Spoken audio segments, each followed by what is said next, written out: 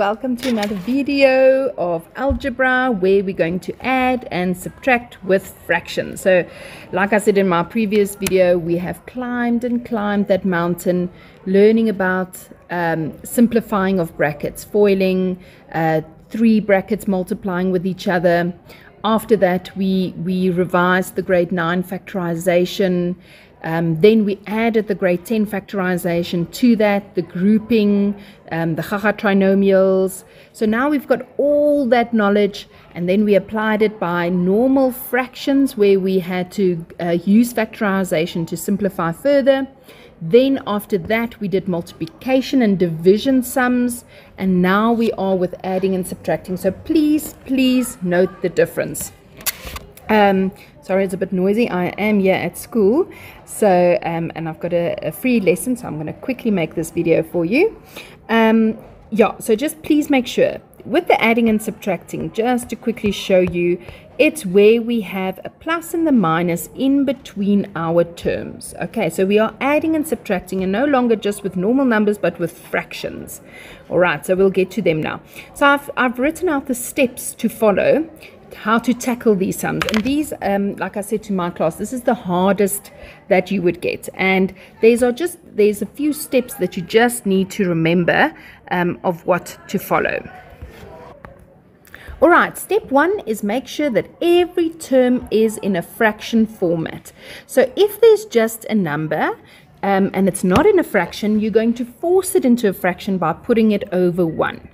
Step two, we're going to factorize where possible, um, mostly with the denominator, but it could be that, that you have to factorize with the numerator to cancel out towards the end, but you will see when we get to the next step.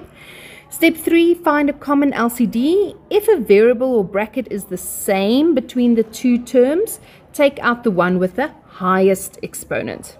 Okay, step four, um, what you do with the bottom, you must do with the top, but as we go along, I will show you how to do that. Step five, add the numerators together. So the tops, add the tops together, but keep the denominator the same. I always say you worked so hard to get it the same, keep it the same. And step six is simplify the top. Sometimes you will be able to factorize again as to enable you to further simplify. Okay, so you're going to simplify and then you're going to re-look at your sum and say, is there anywhere where I can factorize so that I can further simplify? All right, so let's look at the examples. So step one, Remember, we're going to force each and every term into a fraction. By doing so, then you can easily see what is the denominators. So I've got a 1, a 1, and a 2. So the lowest common denominator that is common between them all would be a 2. Because I am able to take this 1 and by timesing only, making it a 2. This one, I didn't do anything to it. So one, what I do at the bottom, I must do on the top. So um, let me just add it there just in the beginning. So what you do at the bottom, you have to do on top. And 1 times 2 is 2. Plus 2 times a is 2a. Minus. Now very, very, very important. Very important. Can I say it again? Very, very, very important is this negative over here. He is a naughty, naughty negative because this is where most of you make your mistakes. I always say when you bring your fraction off its high horse, that negative has to distribute to both terms over there. So it's not just going to go to the first term, it's going to go to both terms. And that's where most of you make your mistakes by saying it's negative 2a minus 1. Where in fact, when we simplify, it's going to be 2 plus 2a minus 2a plus 1 and not a negative 1. Okay, so very, very important. I always say when the fraction gets off his high horse, down, the negative, remember, has to distribute to um, both terms, not just the first term over there. So it's negative 2a, and a negative times a negative is a positive 1.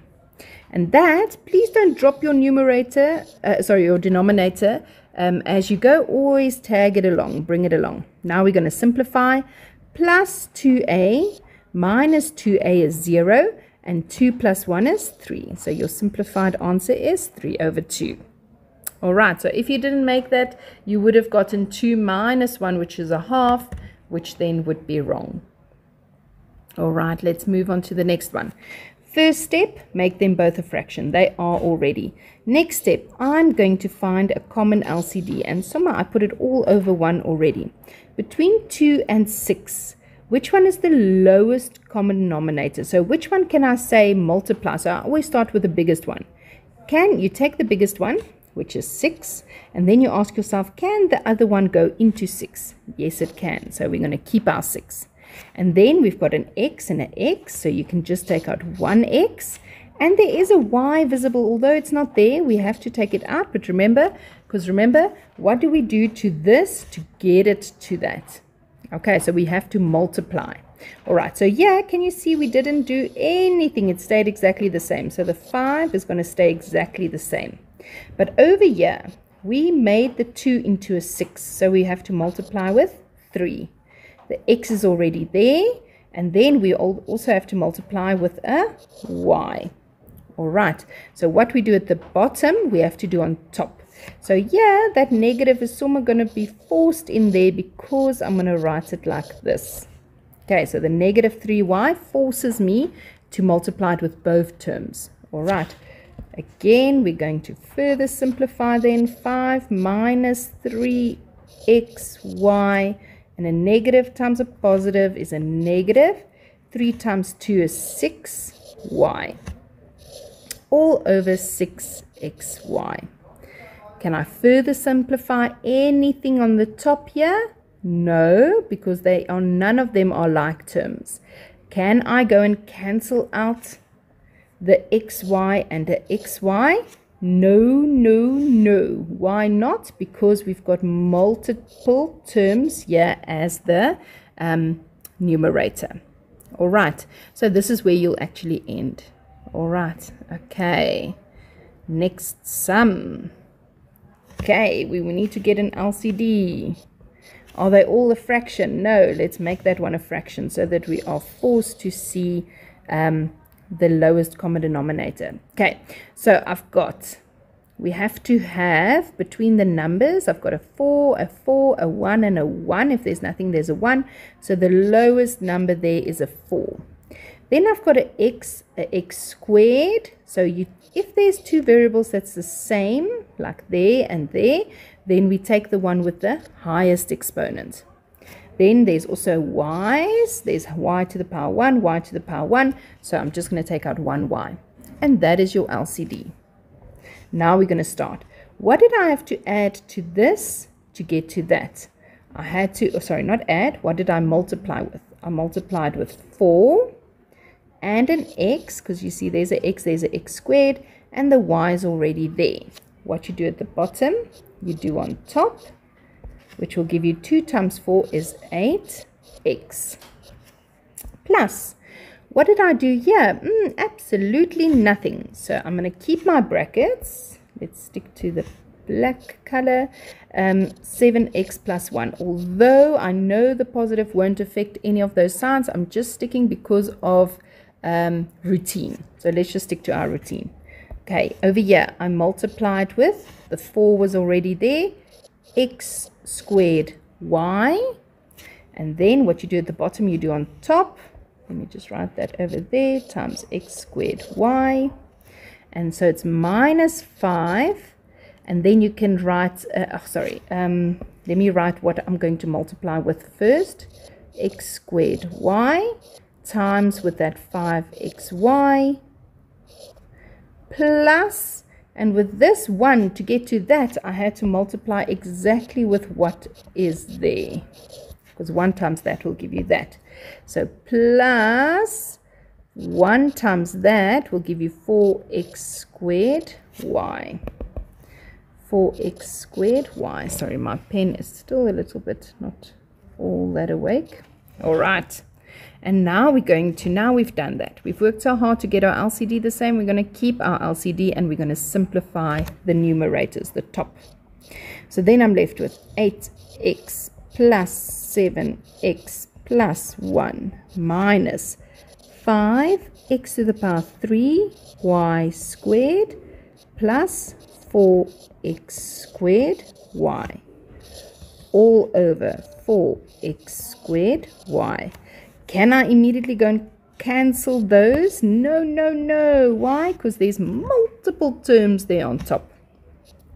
So 8x plus 7x is 15x plus 1. And are these two like terms? No, because this one's got a little sneaky 3 there. So it's minus 5x to the power 3y plus 4x squared y. So this is a bit of a very ugly answer over 4x squared y.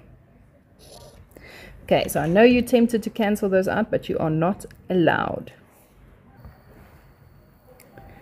Okay, off to the next sum. Now we're going to start with common brackets. Okay, step one, make everything in a, a fraction. Step two um, was uh, factorize where needed, then LCD. So again, step one, everything is a fraction. Step two, it is already factorized. There's no way I can factorize.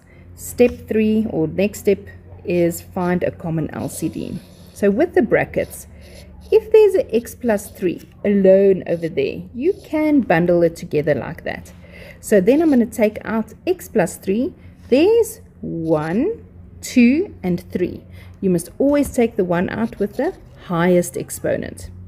Okay, so you can take out, because they're the same, you take out 1, but you take the one with the highest exponent. And now we have to go and see, what did I multiply the x plus 3 with to the power 1 to get x plus 3 to the power 3. Can you see that I multiplied with x plus 3 to the power of 2?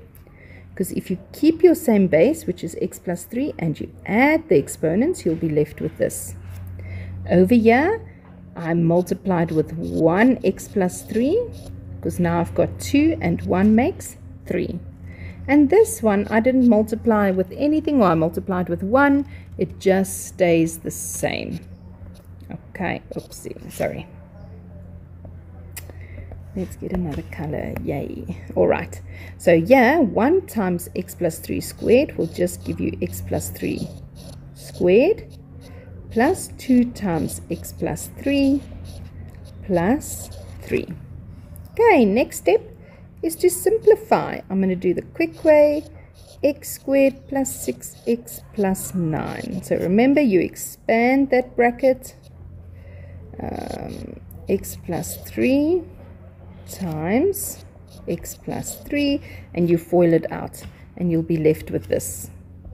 Okay so just to show you I do it the quick way where you take um, sorry the front square it the back square it and then the middle part you 3 times x and you always double it which gives you 6x and then I'm going to distribute that 2 in there 2x plus 2 times 3 is 6 plus 3 all over x plus 3 to the power 3. Sometimes my students, they, they drop the denominator as they go along because it gets so hard to write that all, that somewhere they drop it and then they pick it up again. People, please, you will have to ma get that cramp in your hand because you have to keep on writing your, your the full fraction the whole time.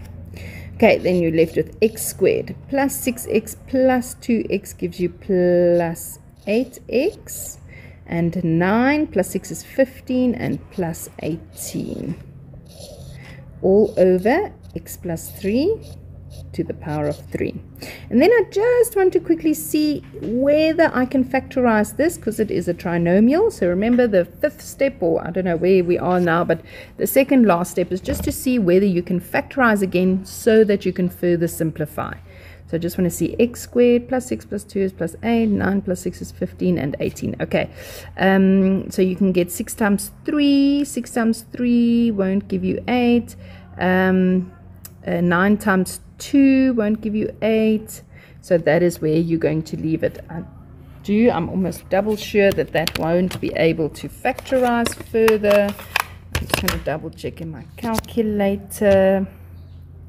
And yes, there is a way that you can check in your calculator, but please, you must be able to do it yourself. Okay, now it gives you a very horrible answer. All right, so that is where you're going to leave your answer. All right, over here. Now we're going to start with the factorization. So step one, see where you can factorize. And I can factorize over there. And that is the difference of two perfect squares. So please, if you don't know your factorization, it's going to come and bite you in the bum if you don't know what to do. Okay, I'm going to factorize that the difference of two perfect squares two brackets that's exactly the same and um, at, uh, sorry two brackets exactly the same plus and minus in each one and now I'm going to take out an LCD and I'm going to ask myself okay I'm going to bundle this together and I need an x plus y and I need a y minus x so you go to each one and you write them down. Then the last one, a y plus x. Do you think that this is the same as this one over here? I think it is because whether you say 2 plus 3 or 3 plus 2, it will give you the same answer. All I did is I swapped these around and because the two signs are both positives, it helps, it yields or it has the same value. All right. Okay, so I don't have to write it again. And if you are a little bit scared, um, sorry, you can just for yourself go and write it here to make it the same x plus y. Okay, to know that it was already taken out there.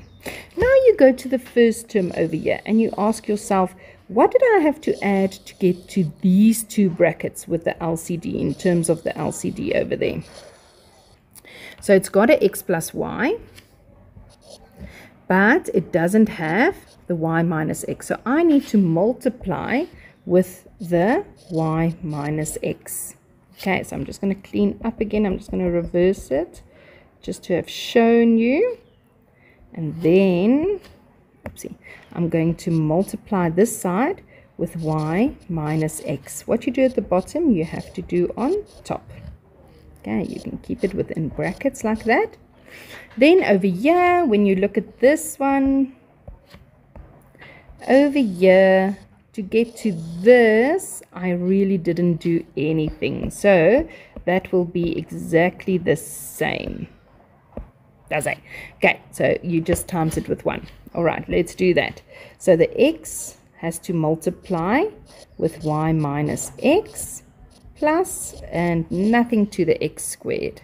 All right, next step, simplify xy minus x squared plus x squared all over x plus y, y minus x.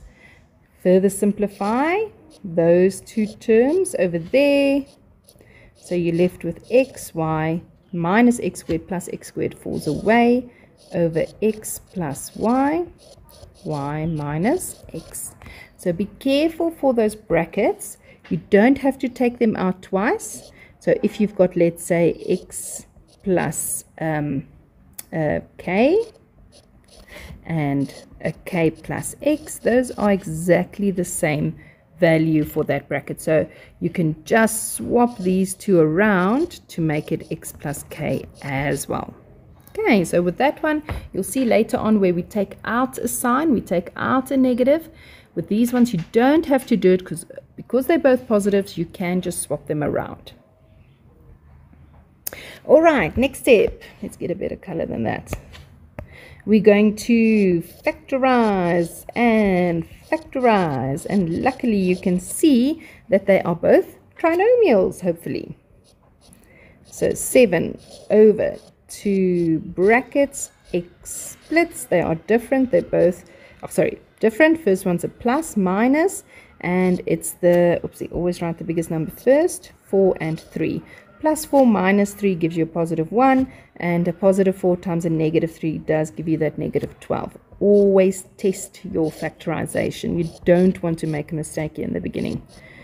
Okay they're different. The first one's a plus and a minus and 4 times 2 Plus 4 minus 2 gives you a positive 2 and if you multiply them it gives you a negative 8 okay now we factorized next step is to get an LCD so you're going to start. I'm going to start with this one. I'm going to write it down. X plus 4 then I'm going to go to the next one. Do I have it? No. So I must write it down. Then I go to the next one. Oh I've got it. So I don't have to write them down. Then I go to the next one. X minus 2 Coolios. All right. So now we're going to ask ourselves, how did we get from this to this? Which one isn't there? I've got the x plus 4. I've got the x minus 3. Aha, I need the x minus 2. So I'm going to multiply the 7 with x minus 2. Then, if I had to do another color, how did I get from this to this? you check yourself. I've got an x plus 4. I've got an x minus 2. So the one that's needed there is the x minus 3. And I'm going to multiply the 6 with x minus 3. I hope the color helps a bit to see what to do. Alrighty. So the 7 times by x minus 2 minus 6 x minus 3. Luckily, that negative we are forced to distribute with the 6 into the bracket to both terms. And that's all over x plus 4, x minus 3, x minus 2. Okay, let's simplify that top part. 7x minus 14 minus 6x plus 18 all over cramp in the hand cramp in the hand i know x plus 4 x minus 3 and x minus 2. so this simplifies 7x minus 6x is x minus 14 plus 18 gives you a positive 4. Yay, yay, yay, look at that. Cramp in the hand, cramp in the hand, keep on going, cramp in the hand. And now, when the x plus 4 is alone on top, you are more than welcome to bundle them together. And can you see what I see? Do you see what I see? Those two can cancel out. And if there's nothing left on top, there is a 1 over x minus 3, x minus 2. Oh, very good. And there's your final answer.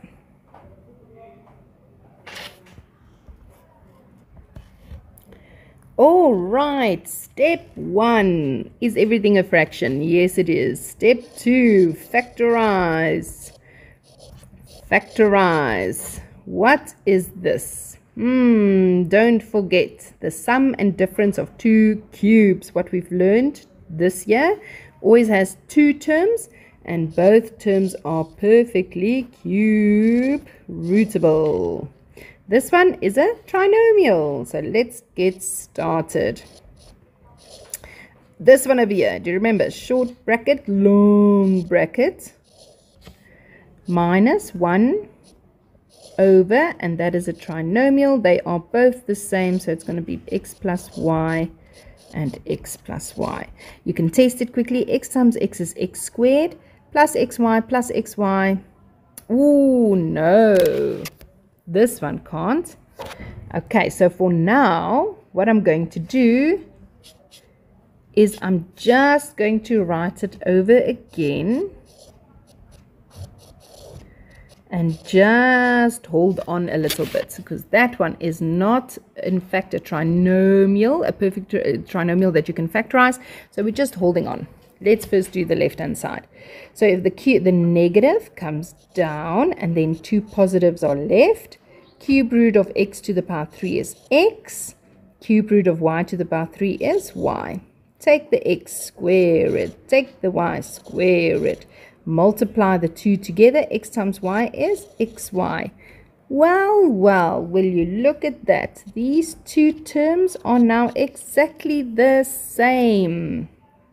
Okay, now we need to get an LCD. You're gonna start. Start with that one. Write it down. x minus y. Then that one.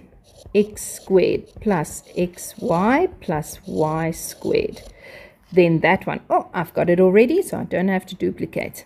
Okay, what did I do from this term to get to this? Absolutely nothing. What did I do to this term to get to this? Can you see I added that x minus y, so I have to multiply with x minus y into that with the negative 1. So then I'm going to be left with x minus x plus y all over. Cramp in the hand, cramp in the hand. But I need to write it down. okay, and then lastly, the x minus x falls away and you're left with a beautiful positive x minus y, x squared plus xy plus y squared. Don't forget your LCD to drag it along. And then we're done with that sum. Okay, next one. Factorize. Can you see it is a trinomial? and so I'm going to quickly do this one. Why I wrote it down is I just want to quickly show you something that you are allowed to do. So the A splits they are different. The first one's a plus and a minus and 2 times 1 plus 2 minus 1 gives you a positive 1 positive 2 times negative 1 gives you negative 2 all right minus A over A plus 1 okay we can bundle that together like that so now just be careful, just to make your life a little bit easier. Always try and simplify each fraction before you carry on finding your LCD. Because if you had to go, you would say, okay, I need to take out an a plus 2, a minus 1, and a plus 1. So it will be a lot, and that makes your, your numerators a lot to simplify. Can you see with this fraction that there is one term on top and one term at the bottom? So you are more than welcome before you continue to cancel out that those two A plus 2's. And then you are left with, okay, so I'm going to get the LCD as well. A minus 1 and A plus 1. And yeah, what did I get? I added a A plus 1, so the A is going to multiply with A plus 1 minus A and a plus 1, what did I get here? A minus 1. And that is much quicker to simplify than if you had to have um, three terms there at the bottom. A squared minus a squared falls away. a plus a is 2a over a minus 1, a plus 1. And then you're done. Can you uh, FOIL out those brackets? You can. You can leave it exactly like that. That is perfectly correct. All right.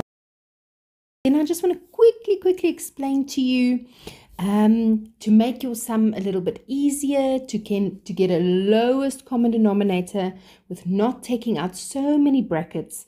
Sometimes you can look at your expression given and say, but wait a minute, if I just swap these two around and I change the sign, then I will have what is in the other bracket. Okay, so if you have a look over here, sorry, if you were going to factorize that um, as a difference of two perfect squares, then you would say 3 minus x and 3 plus x. So now they're very, very similar to this x minus 3, but this one over here, the positive x over here is a negative x over here. And the negative 3 is a positive 3. So what's going to happen is we're going to swap the sign, take out a negative, and then the signs here are going to change from a positive to a negative, and the negative x squared to a positive. Okay, so it only affects either the bottom or the top. So you can change either the bottom or the top, but not both at the same time. All right, so now I've got 2x over x minus 3 minus x plus 1 over. I'm going to swap them around and change their signs. That positive, uh, sorry, that positive x was a negative, so it becomes a positive and the positive 9 becomes a negative 9. Now we can start saying, all right, I'm going to factorize.